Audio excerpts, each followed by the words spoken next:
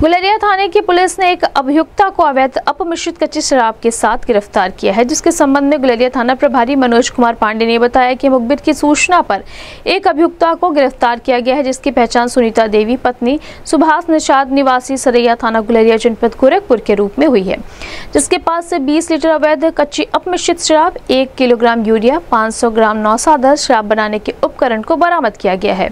गुलेरिया थाना प्रभारी ने बताया कि अभियुक्ता के ऊपर थाने में मुकदमा पंजीकृत कर जेल भेज दिया गया है। गिरफ़्तार करने वाली पुलिस टीम में गुलेरिया थाना प्रभारी मनोज कुमार पांडे उप निरीक्षक Ramchandra Rai, Vijay Shankar Yadav, Chandrabhan Singh, head constable Anil Kumar, Shyam Bihari Upadhyay constable Shiv Om Shukla, Subhash Chandra Yadav, महिला कांस्टेबल नेहा सिंह खुशबू शामिल रहीं।